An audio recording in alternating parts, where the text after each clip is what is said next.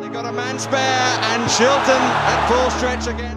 You know, I was always very passionate about wanting to play for my country. To start playing regularly uh, in what is now the Premier League at 17 years of age was was obviously um, very young to start. I don't think it would happen in this day and age. At club level, um, the highlight was winning two European Cups with Nottingham Forest in terms of winning trophies and the League Championship, League Cups in three years under Brian Clough. That was probably something that will never be surpassed again at a club like Nottingham Forest. And to play 1,005 league games um, was something that I was very proud of because it shows that you the consistency in your career and, and the length of your career.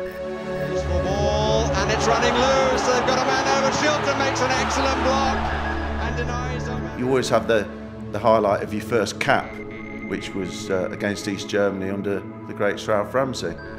And then obviously to go on and represent England another 124 times, which makes it the record, 125, was obviously something I never dreamed of. Came back off the foot of Steve Hodge and Maradona gives Argentina the lead.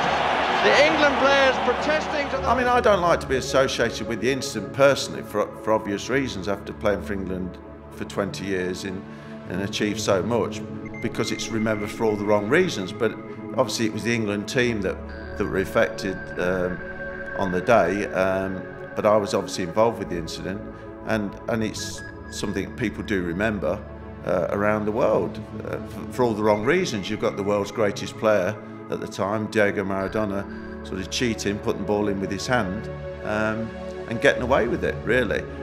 And uh, obviously the, the aftermath of the hand of God quote um, and not really ever admitting to, to having done it or even apologising afterwards. Uh, I don't think he's done that to this day.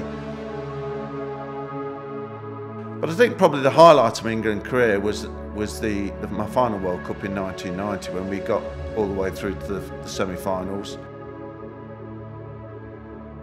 Well, I always remember one save in particular for England was against Scotland in 1973 because I was just starting out in my career and it was an England-Scotland match which were always very big games in those days and was, we were winning 1-0 with 10 minutes to go and the ball came to a great Kenny Dalglish on the edge of the box and he hit a shot and I was going with my left hand and realised I wasn't going to get it. And for some reasons, instinct, I brought my right hand over and sort of palmed it away.